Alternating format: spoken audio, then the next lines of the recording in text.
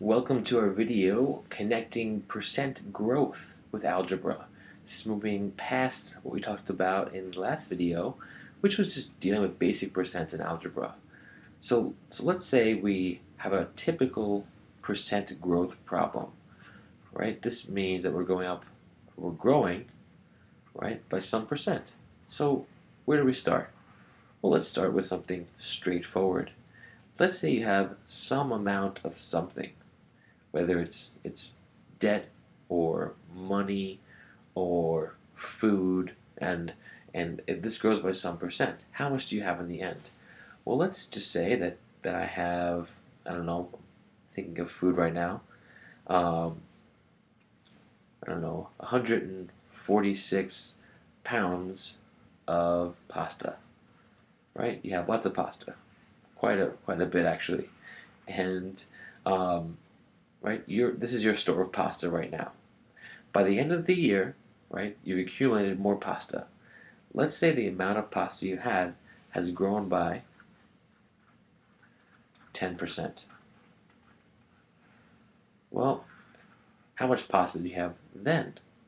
Well, then let's assume as a second part, if you start with the same amount, what how much would you have if your pasta didn't grow by 10%, what if it grew by 200%? What would that mean? So we'll look at these two examples. Case 1, well, in case 1, right here, this is called case 1, your pasta grows by 10%. Here, it grows by 200. How do we calculate this and what does this mean? Let's start with 10%.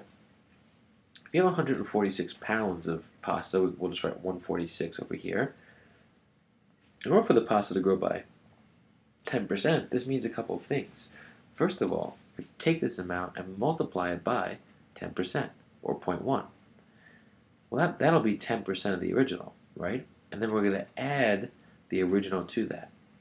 That's our new amount of pasta. The original and 10%. So what does that give us? Well, what's 10% of 146? Well, that's just 14.6 just divided, you know, multiply by 0.10. That's the same thing as dividing by 10. Dividing by 10 is easy because you can move the decimal over. And that's all I did here. So really we have 14.6 plus 146. Okay, well, 14.6, 146. Well, 14 and 146, that's 160. And then 0.6 more is our total. So if your pasta amount grew by 10%, this is how much you would have, and that, that matches right here, right? That's this amount. And one thing you want to start thinking about is, could I have simplified this, right? Well, if you think about it, here you have your full amount of pasta, here you have 10%, and notice in terms of factoring, they both have 146 here, so we can combine these two in one step. If you think about this as 100% of your total, and here we're adding 10% of your total, that means this new number, which grew by 10%, is the sum of these two percents. Right? We have 100%, the full amount, and 10% more. So we could combine these two into one step, saying let's find 110% of, well, I'm writing backwards, I'm sorry, this, that's not going to help you. 110% of, well, multiply 146. And that's easy enough to do. To find 110%, that's really just 1.1. This is the 100% mark, and this is the 10% mark. Combine them to 1.1, right out 10%, 100%, times 146. So you can combine these two things into one step. That's something I might go into detail uh, about in later videos, or maybe in this one, about why that makes sense. But here I want you to be aware that you know you're taking a percent of the original and adding it to it to find a new value, you can combine that into one step. Let's try another one. What if it grew by 200%? What does that mean? Well, since it grew by 200%, right, that doesn't, does that mean it doubles? Well, let's look at that. So you start off with 146 again. And what you add to that is 200%. Right? 100% is 1, so 200% is 2. So you add to it twice the amount of pasta because it's growing by that much. So it doesn't double. It grows by 200%. It grows by a doubling of the original amount. So what's that mean? Well, 2 times 146. I think 2 times 150 is 300. That's too large, right? 150 is not 146. In fact, it's 4 more than it. So we doubled 4 more than we had to twice. So I should take away 8 from 300. And we get oh, 292. And actually, let me rewrite this, sorry. So we have 146, the original, plus 292. That's the amount of pasta I have. So the original plus a doubling. That's the growth here. So 100 and 200 is 300. 40 and 90 is 130. So we get, right, 300, 430, and then 2 is 80. So we have we have 438 pounds of pasta. And here, how can we combine this? Well, this is actually kind of interesting because this brings into light what's happening here with the growth. Well, here, if we had twice the amount and the original, right, we had 100% and 200%. Well, that means we have now 300%. This is something to start thinking about. When you grow by 200%, you actually triple the original amount. So we could have done this in one step. We could have, you know, taken 3 times 146 and gotten our answer right up here. And all this is, the reason this is happening is because we're able to combine these percents. Let's look at that from an algebraic standpoint. I want to get into it here and try explain it. We have some original amount, x, right? And we're saying the original amount is x times 1, because it's 100% of that. And then we add some other percent of growth. In this case, it was 2. We're multiplying that by the same amount. So to simplify this matter, we can combine these like terms, right? 1 plus 2 is just 3. This is equal to 3 times the original amount. In the first example, we had 100% plus 10% of the same number. So here we can add these like terms, and we get 1.1x.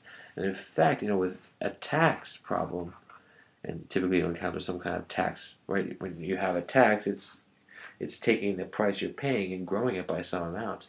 You have the original price of, of the item, 100% of your item, plus, let's say, about 8% tax, right, for New York's tax, add these two up, you get 1.08. And often, if you see people calculating their tax, they'll take the percent and then add to the original. Why not do it all in one step? Multiply your original price by 108% or 1.08 and combine it all together in one step.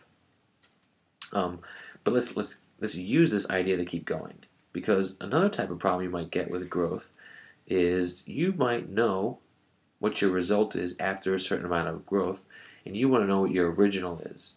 So let's say, right, we have a landfill, and right, we're trying to calculate what's happening in the landfill.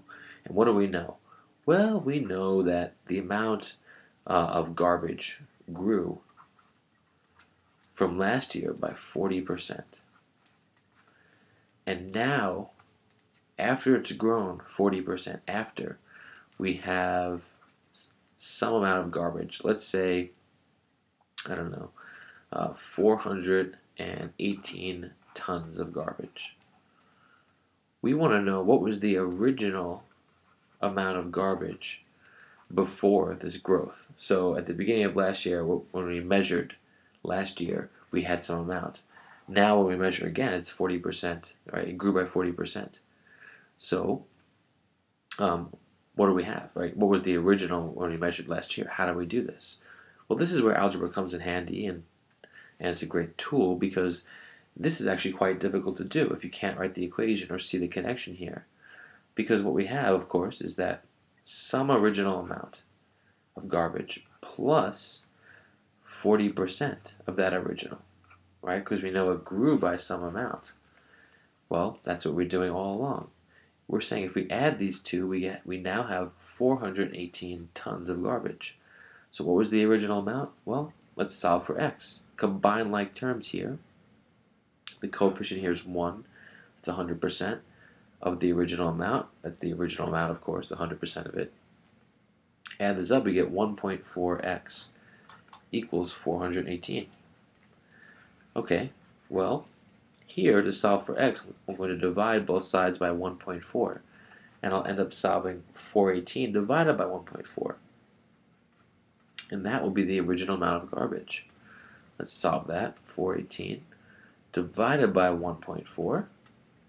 And there it is, about 298.571428. And then repeats 57124128.5. Yeah, sorry, so 298.5714. 298.5714. And I think I missed the rest. 1428 two eight. That's the repeating. There it is. Five seven one four two eight. Five seven one four two eight. So five seven one four two eight. And that means that was the original amount of garbage that you had last year. Now be very careful when you have something growing by a percent. Really make sure you verify your reasoning. Things aren't always going to work out as neatly as you might expect. Calculate what the original amount was. Don't just assume um, that you know what it was right? For example, if you knew it grew by 200% and they told you now have this many tons of, of garbage, what was the original, don't just divide it in half, thinking that originally, if you if it grew by 200%, that you you can you can go back to the original by cutting it back in half. We just went over that, right? In fact, you'd be cutting it in third to get the original. So you really want to be careful here, and in that way, you might discover some great and fun patterns uh, in dealing with percents.